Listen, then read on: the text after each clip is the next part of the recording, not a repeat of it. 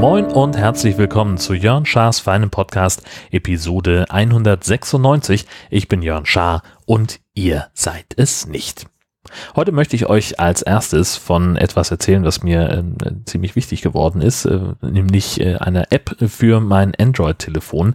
Ähm, ich hatte nämlich das Problem, dass ich bisher immer ähm, den Chrome für Android benutzt habe als Browser und dass ich äh, auf manchen Seiten, vor allem auf shz.de, äh, das Problem hatte, dass ähm, ja, die Seiten ein bisschen merkwürdig reagiert haben. Also ich habe dann halt einen Link geklickt und äh, dann ging statt des Artikels irgendeine Gewinnspielseite auf, wo dann irgendwelche Pop-ups kamen, wo drin stand, äh, Sie haben gewonnen, äh, drücken Sie auf OK, um Ihren Gewinn abzurufen, äh, wo ich das Gefühl hatte, wenn ich jetzt OK drücke, dann äh, muss ich irgendwie, dann habe ich einen Vertrag abgeschlossen oder lass mir irgendwelche, erteile die Zustimmung, irgendeine App zu installieren, eine Malware-App oder irgendwas.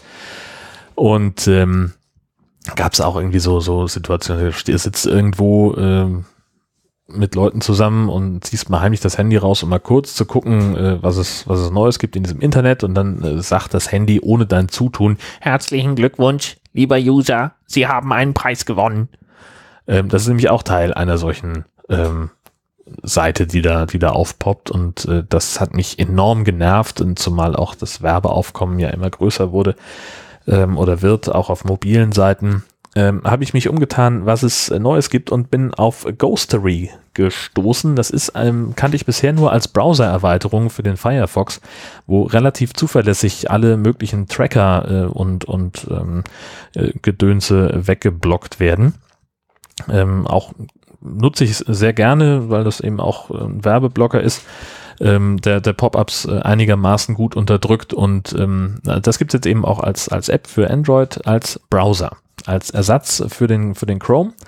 Der blockt sehr zuverlässig alles weg, was ich an Werbung sonst wahrnehmen würde. Also ich habe mal den, den Test gemacht äh, auf der Seite saz.de, äh, werden sehr zuverlässig äh, verschwinden da sämtliche Werbebanner.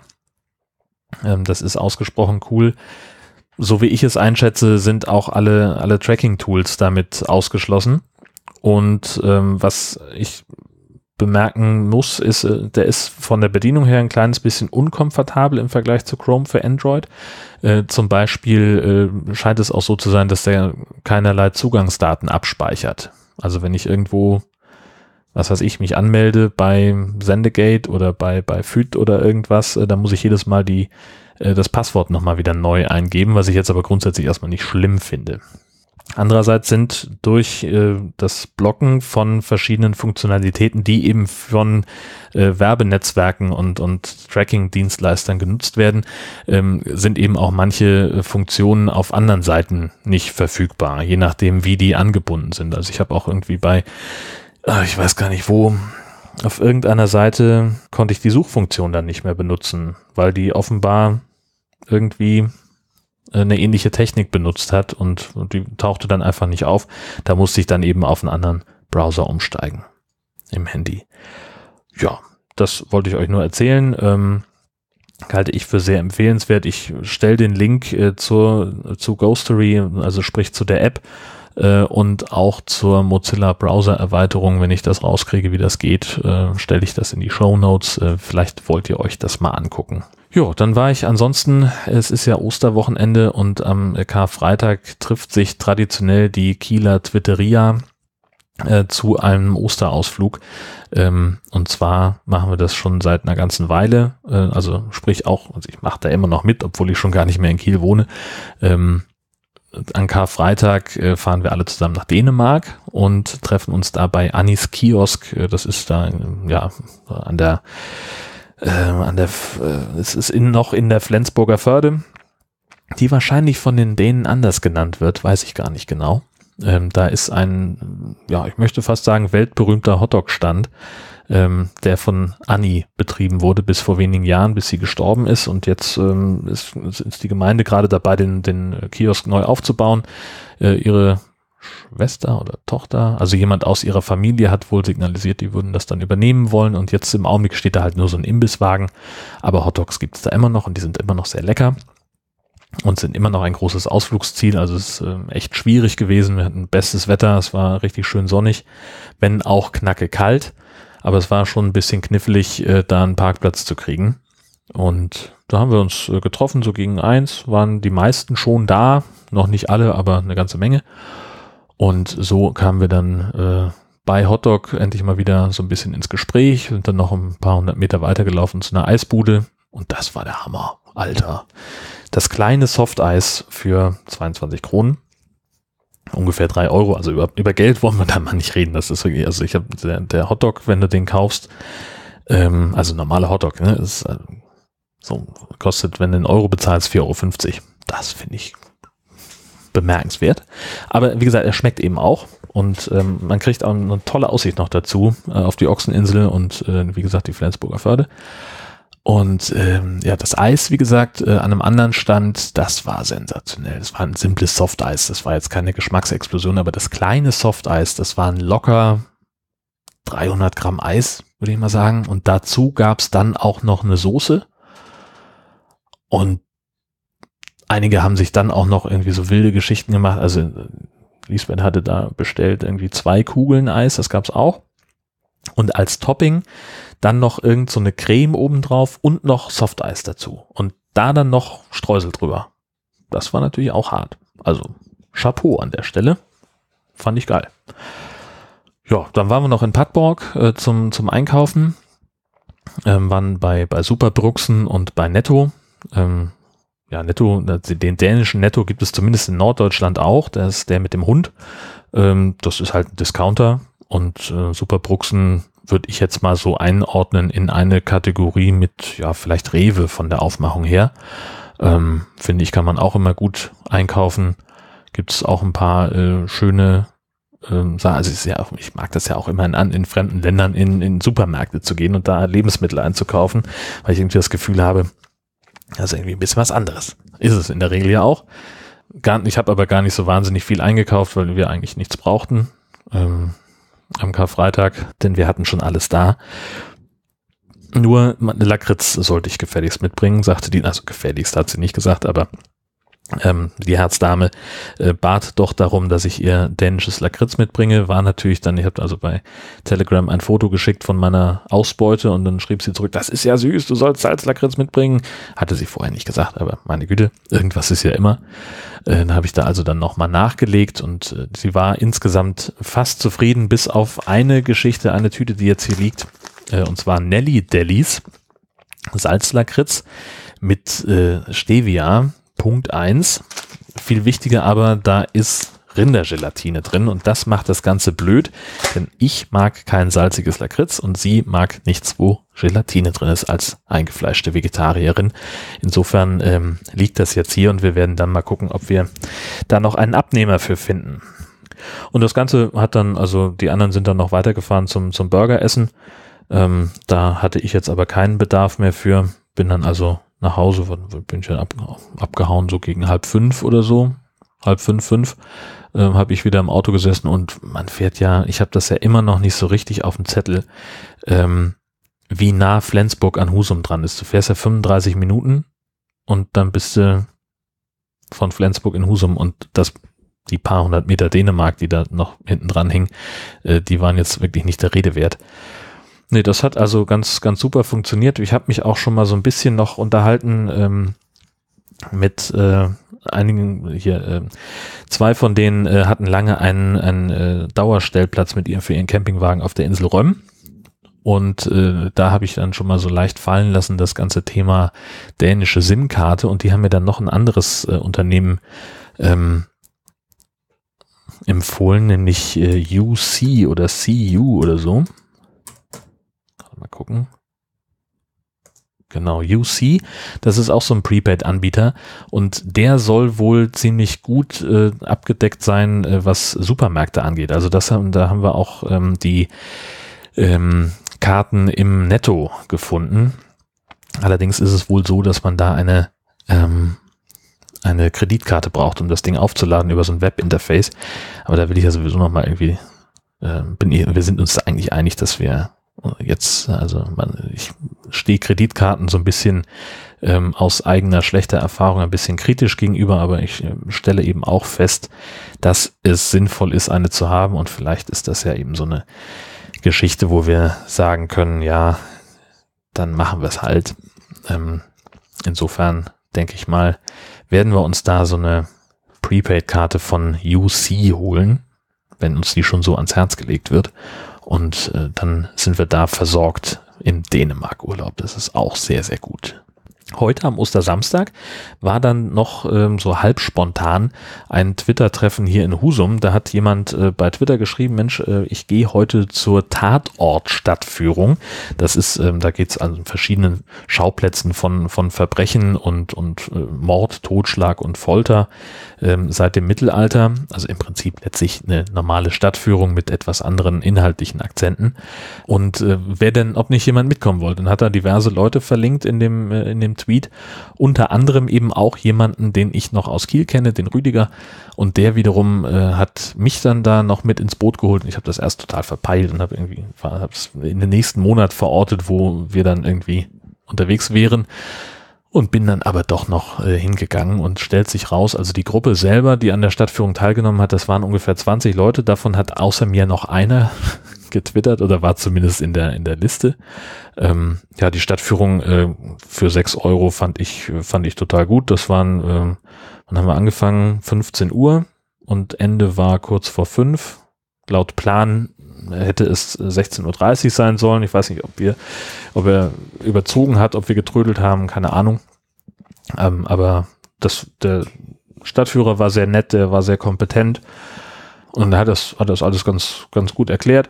Ähm, das, was ich, äh, also, ne, was, was man da eben so, ähm, hat dann über die Foltermethoden im Mittelalter gesprochen, wie Todesurteile verstreckt wurden, äh, vollstreckt heißt das, ähm, was, wie Dinge bestraft wurden. Also was weiß ich zum Beispiel, wenn man mehrmals hintereinander äh, zur Kirchgangzeit dabei erwischt wurde, dass man die Wäsche wäscht, dann konnte man dafür ausgepeitscht werden. Ähm, eine Kindsmörderin wurde zum Tode verurteilt, wo dann noch darauf hingewiesen hat, dass vor sechs Jahren in Husum es einen fünffachen Kindmord, Kindsmord gab und da sei also die Täterin für neun Jahre ins Gefängnis gegangen. So hätten sich die Zeiten geändert. Ja, das, dann hat er so erzählt, äh, dass Theodor Storm, so der wahrscheinlich berühmteste Sohn Husums, äh, ja dann auch als Amtsrichter zum Teil hier tätig war und äh, was, was der so berichtet hat in seinen Memoiren und in seinen Werken über seine Arbeit.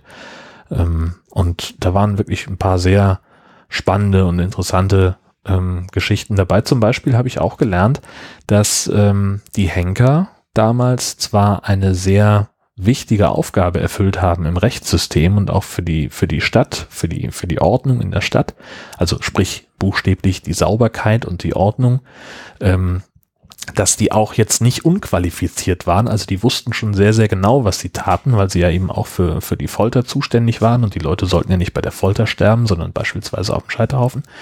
Ähm, dass die aber trotzdem wahnsinnig schlecht angesehen waren in der Bevölkerung.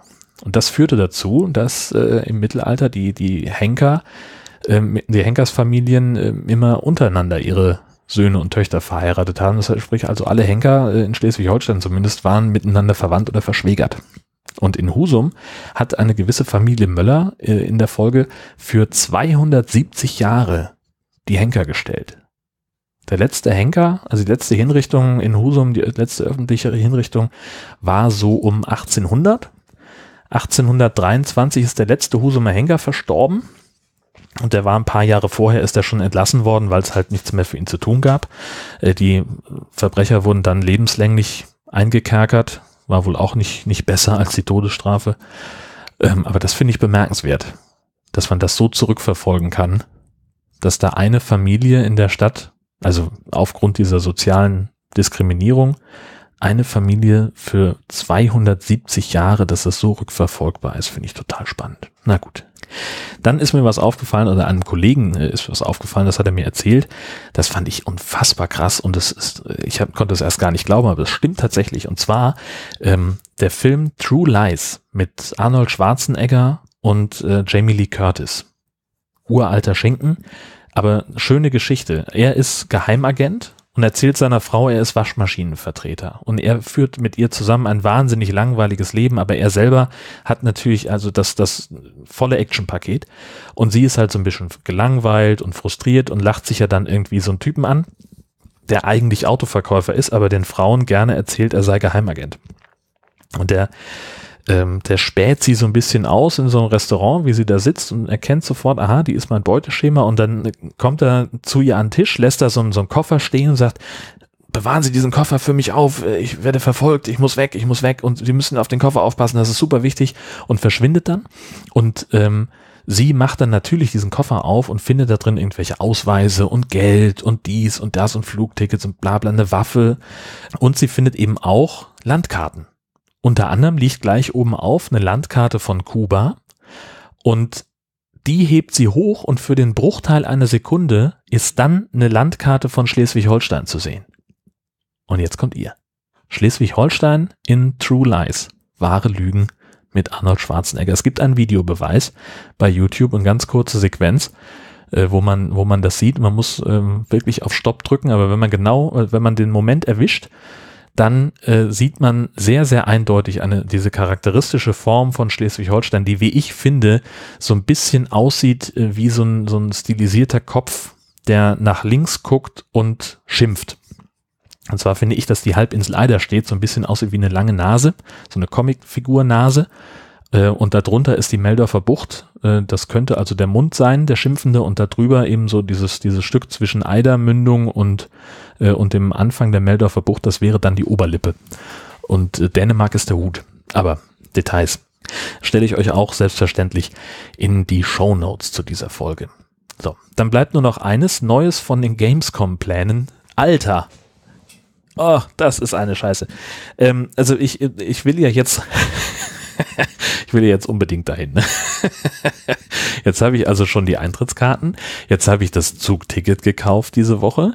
Ähm, das war auch relativ günstig. Äh, mit Sparpreis irgendwie sind wir dann noch bei, keine Ahnung, ich glaube etwas über, um die 100 Euro sind wir jetzt in der ersten Klasse zu zweit. Äh, dadurch, dass meine Nichte elf ist, zahle ich für sie nur die Reservierung für den Platz. Sie fährt noch kostenlos mit, ist alles schön. Mm, und also 100 Euro hin und zurück, ne? Also alles prima. Und dann geht's jetzt ja aber ans Hotel. War ich also bei meinem Lieblingsreisebüro in Heide, wo ich schon immer, äh, also wo ich schon mehrfach äh, sehr gute Erfahrungen gemacht habe und sehr zufrieden war. Ähm, und ich hätte früher dahin gehen sollen. Scheiße, das ist.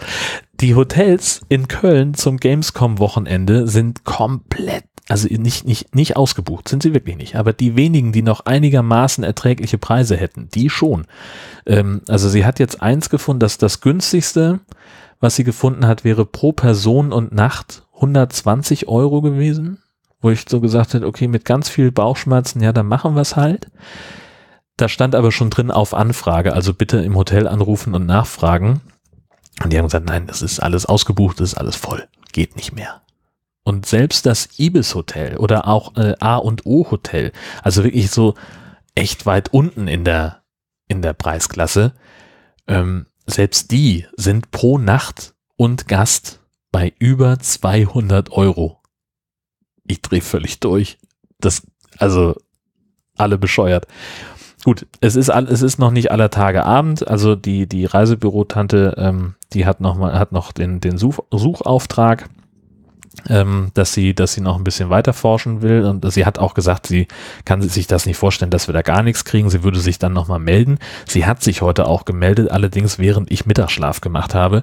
Äh, da hatte ich das Handy aus. Das heißt, da werde ich dann am Dienstag nochmal nachfragen, wie es denn jetzt gelaufen ist. Ähm, ich nehme nicht an, dass sie was gefunden hat. Das kann ich mir nicht vorstellen. Ähm, ich habe parallel geguckt bei Trivago. Hab da auch, also das war ist indiskutabel, ähm, ein, ein Hotel gefunden, 15 Kilometer von der Innenstadt entfernt und dann fahren sie äh, die Linie S-Bahn sowieso und dann steigen sie hier in den Bus und nach einer Viertelstunde steigen sie da aus und gehen noch 800 Meter und dann sehen sie unser Haus auf der rechten Seite. Äh, nein, nein. Und ich habe jetzt einfach mal so, so ein paar Sachen mir angeguckt äh, an, an richtigen Hotels geht die Seite nicht auf. Genau, das ist hier das eine. Das Hotel am Augustinerplatz in Köln. ein 10 Quadratmeter Einzelzimmer mit einem Einzelbett 461 pro Person und Nacht. So, das heißt also, wir würden ja zwei Zimmer nehmen. Das hatte sie sich, hatte ich, ich, hatte ich das erwähnt? Ähm, ich hatte mit meiner Nichte gesprochen, wie wir es denn übernachtungsmäßig machen wollen. Genau, dass ich gesagt habe, so irgendwann ist ja dann das, genau, das habe ich letzte Woche, glaube ich, erzählt, ne? dass ich gesagt habe, irgendwann ist bei mir das Licht aus, aber wenn du noch weiter daddeln willst, brauchst du ein eigenes Zimmer. Und da fing sie nur an zu grinsen. Also wir bräuchten zwei Zimmer und ich sehe nicht ein, dass ich über 900 Euro bezahle für zwei Nächte Köln, Entschuldigung. Äh, dann habe ich das, ähm, geht aber noch besser. Steigenberger, äh, 35 Quadratmeter Zimmer mit, äh, also wo man dann eben zwei Betten auch drin hat, 503 Euro. Beziehungsweise, weiß nicht, warum das so ist. Gibt auch noch eine, die Möglichkeit für das gleiche Zimmer 587 Euro zu bezahlen. Sehe ich auch nicht so richtig ein. Klicken wir auch zu und dann bleibt noch das Dorint an der Messe, was mir mehrfach empfohlen wurde. Ähm, weil es halt echt nah dran ist. Ne? Das ist 400 Meter von der, von der Kölnmesse weg. Das wäre natürlich ein Knaller. Und äh, da lädt die Seite jetzt noch. Das liegt bei 836. So. Und das ist ein Zimmer mit einem Doppelbett. So. Wir müssten also zwei haben. ah, nee, doch nicht. Das ist ein Zimmer für zwei Personen, maximal ein Kind. Das ginge also vielleicht sogar noch, dass wir da die Betten auseinanderschieben oder was der Geier. Aber Entschuldigung, 836 Euro, das verdienen andere Leute im Monat. Das zahle ich doch nicht für ein Hotelzimmer. Nee, ähm, wir machen das jetzt folgendes, also ich, ich weiß noch nicht hundertprozentig, was wir, was wir machen. Ich habe da noch äh, zwei äh, Varianten im Köcher, nämlich die eine ist ähm, Airbnb, wollte ich mir angucken, aber irgendwie habe ich, äh, da, da habe ich so ein bisschen, weiß ich auch nicht. Also das, was ich jetzt bei Airbnb gefunden habe, ist entweder riesengroß, 100 Quadratmeter Loft. Also, aber, also relativ günstig, aber ist ja Quatsch. Brauchen wir nicht. Ähm, oder halt äh, eine großzügig eingerichtete 35 Quadratmeter Wohnung. Das, das, das auch, reden wir gar nicht drüber. Äh, äh, nee. Also, aber trotzdem, ich werde dann nochmal genau gucken, was da vielleicht geht. Punkt eins. Dann hat mir ein, hat sich ein, ein Hörer bei mir gemeldet, Dan Wallace, ähm, der gesagt hat, äh, ja, da geht vielleicht äh, bei ihm und seiner Freundin was, die haben wohl ein Gästezimmer, da wäre möglicherweise, was heißt möglicherweise, sie hat auch schon zugestimmt, also da hätten wir, hätten wir eine Möglichkeit. Ähm, es ist aber auch so, dass ich da zumindest grob in der Gegend von Köln auch noch Verwandtschaft habe. Ähm, die werde ich jetzt auch nochmal antickern, ähm, denn ich glaube, die haben ein ich will nicht sagen, ein Gästetrakt in ihrem Haus, aber die haben also deren Gästezimmer, da stehen sowieso schon zwei Betten drin. Ähm, das wäre vielleicht noch eine Option. Ich muss mal gucken, wie das mit dem, mit dem Reinpendeln nach Köln dann ist. Ich meine, es ist im Wesentlichen, ähm, wir fahren einmal nach Köln, also gut, wir kommen natürlich relativ spät an. Ich habe ja gedacht, wir haben Hotelzimmer.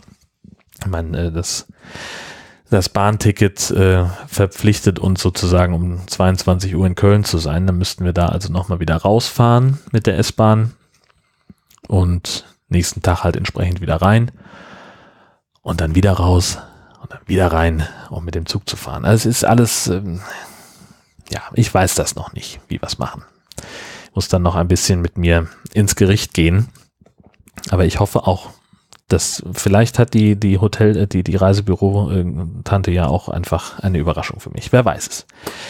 Gut, mehr als das habe ich leider nicht zu erzählen. Ich finde, das war aber auch äh, reichlich. Ähm, zumal wenn jetzt, äh, also es, ich habe gar nicht drüber gesprochen, wie meine Arbeitswoche war. Äh, Spoiler, unspektakulär. Ähm, insofern ist das eigentlich auch ganz okay. Herzlichen Dank fürs Zuhören. Ich wünsche euch eine fantastische Woche, schöne Osterfeiertage, das bisschen Rest-Ostern, was wir noch haben, ähm, wünsche ich euch alles Gute und äh, ja, planmäßig hören wir uns dann nächste Woche wieder. Bis dahin alles Gute. Tschüss.